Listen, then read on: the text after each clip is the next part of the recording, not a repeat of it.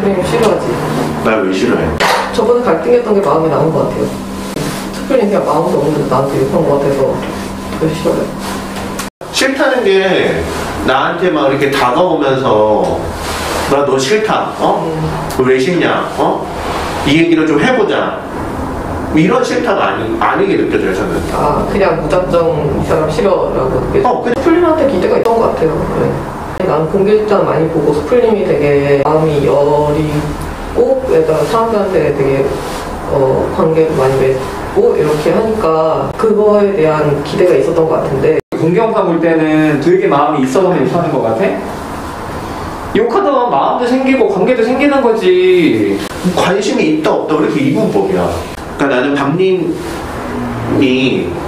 그 허세거리는 모습이 싫거든요 근데 난 이미 관계를 하고 있다 느끼거든. 다만 박님이 뭐 나한테 관심이 있냐 없냐를 물어본다면 이 중에는 관심이 없지. 이 중에는 관심이 없는 편인데.